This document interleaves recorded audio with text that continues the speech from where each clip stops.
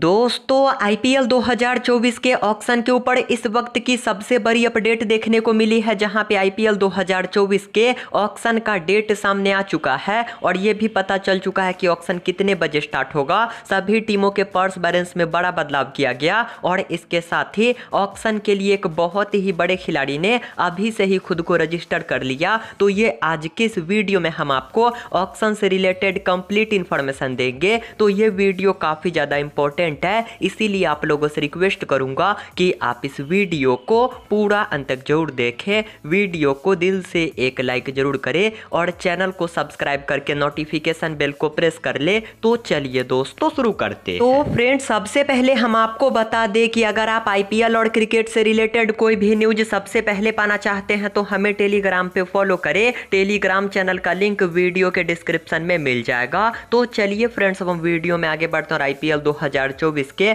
Auction से related complete information दे देते हैं, लेकिन उससे पहले मैं आप लोग को बताना चाहूँगा कि अब से कुछ देर पहले वर्ल्ड क्रिकेट के सबसे बड़े गेंदबाज, यानी कि मिचेल स्टार्क ने खुद को आईपीएल के लिए अवेलेबल बताया, जहाँ पे मिचेल स्टार्क ने एक इंटरव्यू में बताया कि आईपीएल 2024 के ऑक्शन में वो खुद को अवेलेबल रखेंगे, यानी कि आईपीएल 2024 के ऑक्शन में वो पार्टिसिपेट करेंगे, और इस साल जब ऑक्शन प्लेयर का लिस्ट आएगा तो उनमें उनका भी नाम होगा, जहाँ पे मोस्ट प्रोबेबली मिचेल स्टार्क दो करोड़ के बेस प्राइस के साथ ऑक्शन का पार्ट बनेंगे और इस बड़े प्लेयर को मुंबई इंडियंस बेंगलोर चेन्नई और कोलकाता जैसी टीमें टारगेट करेगी, क्योंकि कोलकाता अपने स्क्वाड से लॉकी फर्ग्यूसन उमेश यादव और टीम सऊदी को बाहर कर रही है तो इस टीम को विदेशी गेंदबाज का तलाश होगा। वहीं आरसीबी को बैकअप विदेशी गेंदबाज चाहिए और चेन्नई की टीम सिसांडा मगाला को बाहर करने के चलते इस बड़े प्लेयर को ऑक्शन में खरीदना चाहेगी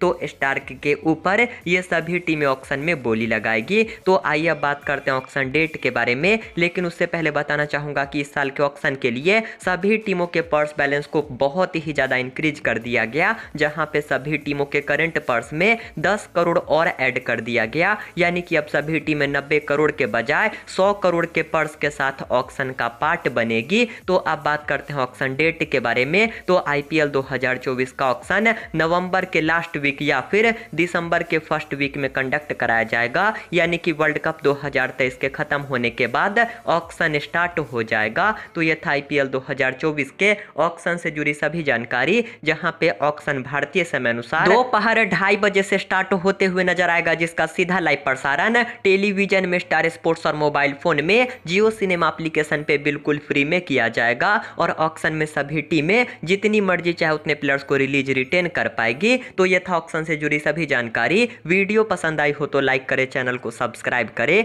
तो फ्रेंड्स मिलते हैं नेक्स्ट वीडियो में।